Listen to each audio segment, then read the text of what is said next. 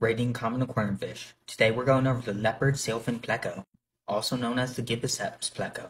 This is a very common species of Plecostomus in hobby with a size range of approximately 13 to 19 inches, so a very big tank requiring at least a 120 gallon or more. This is an omnivorous species feeding on a mixture of protein and herbivorous diet. They also require driftwood, as you can see in this photo, he is leeching off driftwood, specifically the lignin in it.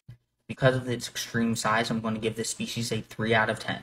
Though I do love plecos, they have a massive bioload, and in order to keep them correctly, very few hobbyists have the correct conditions.